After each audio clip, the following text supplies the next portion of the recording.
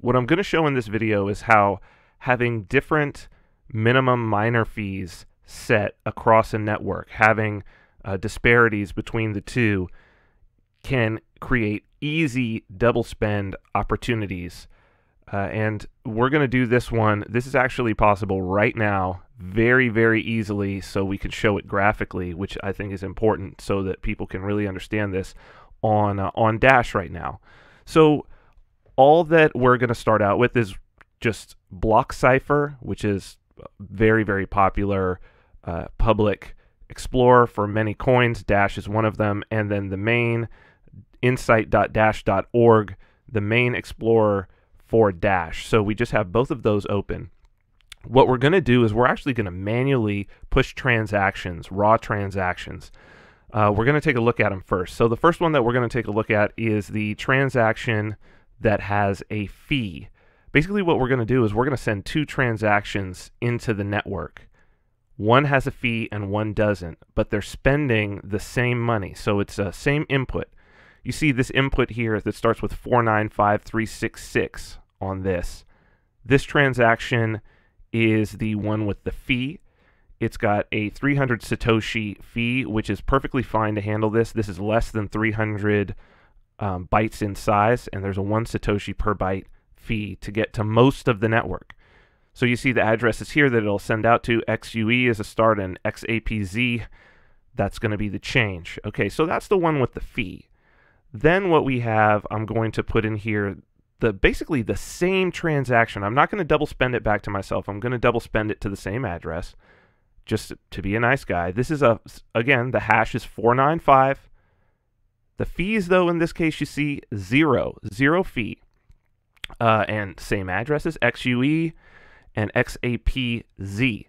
So, what we have to do first is we have to broadcast this zero fee transaction, we broadcast this to BlockCypher because BlockCypher, unlike the rest of the network, uh, BlockCypher's got their minimum fee set at zero.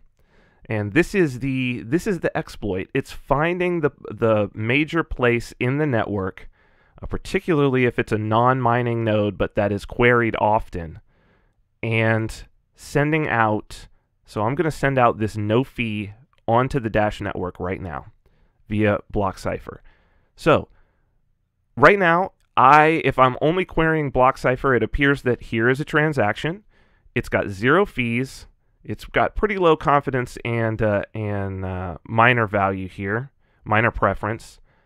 Uh, you can see here it is, but it's it's valid. Zero confirmation so far. So here's the transaction though. Let's get this transaction hash and then let's see if it's been propagated throughout the network, which it should be at this point. So we go to Dash, we uh, copy it in, no matching records found. Well, let's try it again. Maybe it just has not propagated yet. Maybe that's the issue. We've got still no matching records found. Try it one last time. No matching records found. So if someone is querying the main Dash insight at this point, that input has not yet been spent, which means I can now go and I can broadcast that same transaction, yet with a fee, like we already saw, a valid uh, above the miner minimum. I can take a look at this transaction now on the Dash Explorer, and you see there it is. Perfectly fine. Let's see what happens if I look at it, that same transaction I just did on BlockCypher. Warning this transaction has been double spent by this. Be extremely careful when accepting this transaction. Here's a double spend. This was completely non technical. Anyone could have done this. So, were the merchant to be looking at BlockCypher in that time that it took me, the merchant would have already, it would have came up on their point of sale as saying, yep, it's paid. I would have walked out with my merchandise and then I could have just sent this transaction over. Now, Dash con- confirms very quickly. Let's just refresh this. We see we've got one confirmation. Here's where it gets super crazy. So the merchant thinks that they have this confirmation or thinks that they have this uh, zero conf because Dash can do zero conf. They they go back, but now they go to look after one confirmation and no transaction found with that hash. It has vanished from BlockCypher. completely vanished as though it never existed. Now, we can still go on BlockCypher and look at the legitimate hash,